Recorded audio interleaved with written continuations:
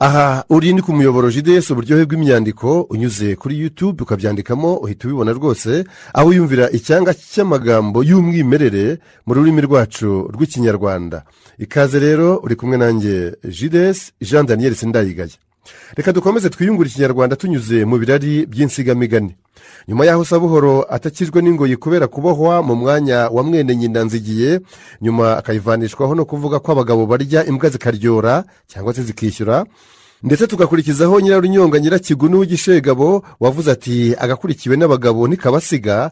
Tukabona ageze aharindimuka tugasanga kandi ijambo ryiza ari mugenzi w'imana tukanamenya arita mu mata nk'isazi agarukiye hagati y'urupfu n'umupfumu aho guhakwa n'umugore namwinjira byagiye mbiru na nyoni ibintu byacitse adukuye aho inama yakuye ubusanza arihadika amatugunguru amata y'ururembo yishyurwa amaraso haguma umwami ingoma irabazwa ab'ingoma yakamiye n'ibisaba amaraso agahuga umuco akandi umuco bushaku abwiriramo ruhararamanzi taho gakarago usize akabando kawe aho intaganzwa yicaye ntihava. Reka n'ubundi dukomereze muri uwo mujyi w'ibirari by'insigamigani aho tugeze ku nsigamugani igira iti genda shashi nkumenye nshaje.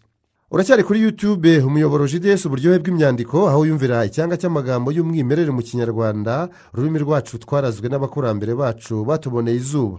Ikaze rero uri kumwe nanjye jidesi ari we jean daniel sindayigaya genda shashi nkumenye nshaje. Uyu mugani umuntu awuca iyo ahubiranye n'ikintu kimushimishije mu mizo ya nyuma ariko atagifite urubuga rwo gukomeza kukihwaba ni bwo agira ati genda shashi nkumenye nshaje. Wakomotse kuri kimenyi gitura umwami w'igisaka ahahinga umwaka w'igihumbi na magana arindwi. Kera ku ngoma ya kirima rujugira mu rwanda niyo kimenyi gitura mu gisaka habaye imihigo y'abo bami bombi bahiga inka nziza. Kirima yavugaga ko arusha kimenyi inka z'inyambo nziza kimenyi nawe akavuga atyo.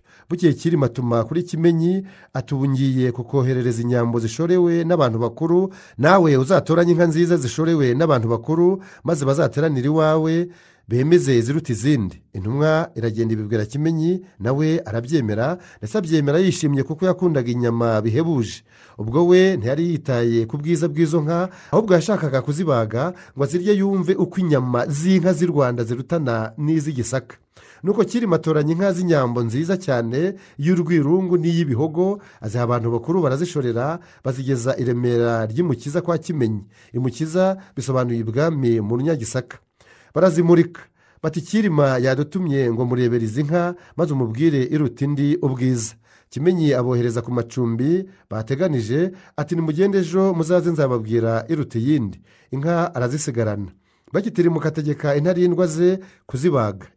Bazikubita intorezo. Bamaze kuzibaga benda inyama za bihogo n'iza rwirungu barazikaza ari byo kuzotsa. Zimaze gushya bazimuzanira zitatuye. Bati iyi ni iya ruhwijima mbese rwirungu? Naho iyi ni iya bihogo. Aziryaho zombi asanga iya rwirungu irusha iya bihogo kunura mbese byo kuryoha. Bukeye intumwa za kirima zishengera kwa kimenyi zije kubaza uko za nka zirutana. Baravunyisha bahabwa icyicaro n'inzoga baranywa. Kimenyi araterura ati yemwe ntumwa za kirima mugende mumumbwirire ko ruhwijima irusha bihogo kunura. Intumwa zirumirwa ziyoberwa ibyo ari byo abanyagisaka babegereye barabongorera bati yarayaziriye ubwo ni ukubabwira irusha iyindi kuryoha. Intumwa zirasezera zisubira i rwanda zumiwe. Baraza babibwira kirima. Abateraniye aho bariyamirira babigira urw'amenyo bati wa muntu ni umunyamahanga koko. Umuntu babajije ubwiza bw'inka akabuvugira ku nyama. Kimenyi mu mibereho ye yagiraga amerwe y'inyama cyane ariko akarya iz'amagumba n'ibimasa gusa.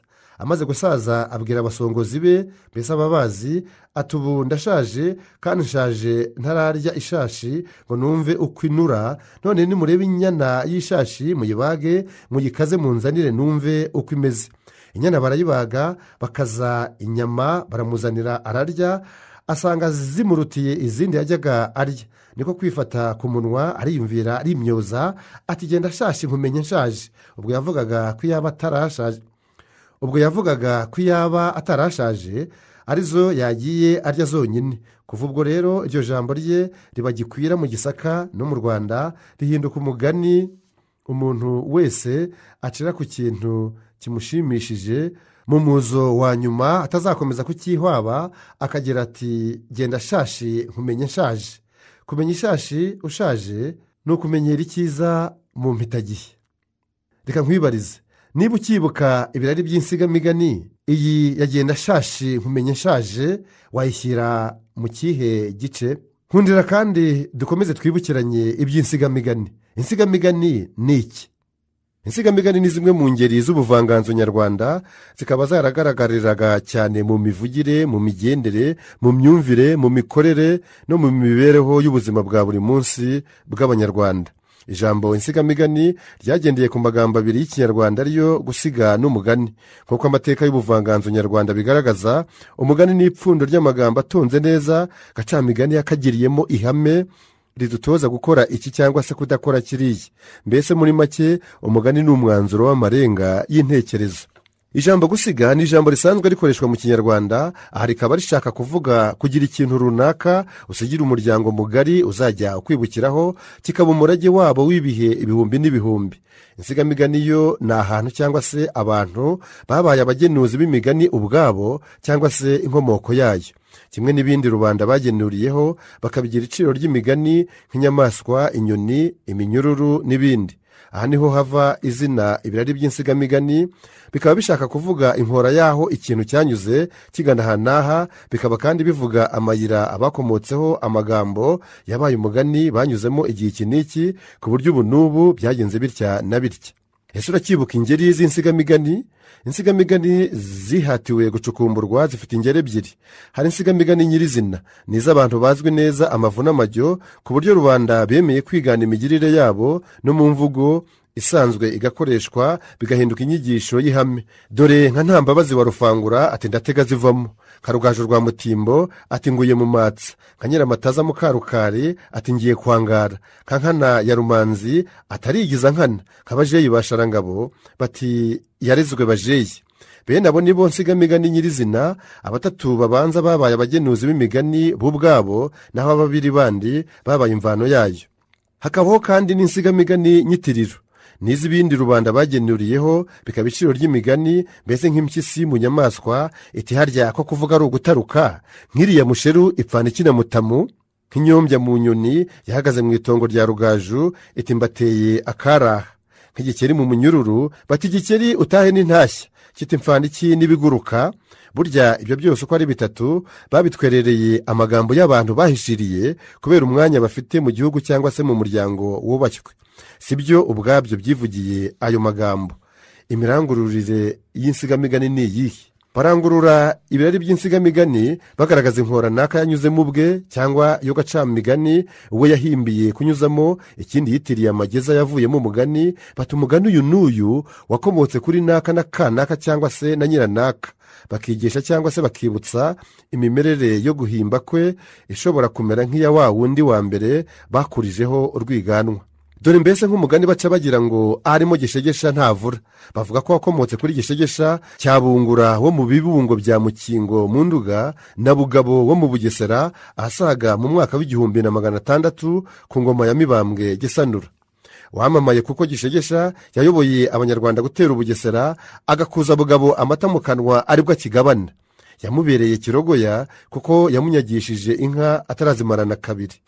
Iyo rero amaronko ajemo kirogoya yavutse nyirayo ni bwo bagira bati aharimo gishegesha ntavura ubwo baba bigana bugabo wamaze kunyagishwa na gishegesha akavuga atyo atarimo gishegesha ntavura nifashishije ibirari by'insigamigani icapiro rya mbere. Reka mbasabe nanone mukore sabusikarayibu layike sheya na komenti mwibanda cyane kuri layike sheya na komenti kugira ngo iki cyanga cy'amagambo y'umwimerere mu kinyarwanda cyacu twakuye mu nsigamugani igira iti genda shashi nkumenye nshaje. Kigere kuri benshi ntihagire ucikanwa rwose. Mwari kumwe nanjye jidesi jean daniel sindayigaya naho ubutaha cawo cawo